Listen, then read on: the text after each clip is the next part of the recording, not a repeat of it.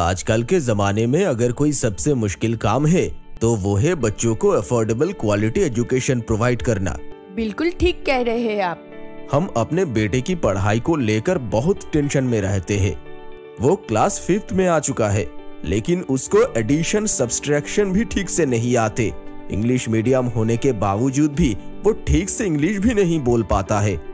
Hello uncle hello aunty how are you both hello Krishna बेटी we are fine आपकी पढ़ाई कैसी चल रही है?